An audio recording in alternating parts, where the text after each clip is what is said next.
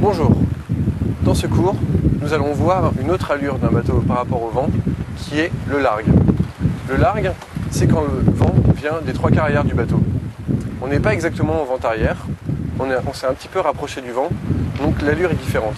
Le bateau commence un petit peu à agiter et les voiles sont réglées différemment.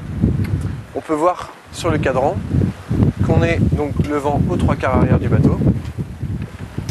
Dans ce cas-là, on est un peu moins ballotté par les vagues, le bateau est plus stable et les voiles d'avant sont du même bord, c'est-à-dire du bord opposé de là où vient le vent. Ils sont toujours un petit peu creuses, mais quand même réglées.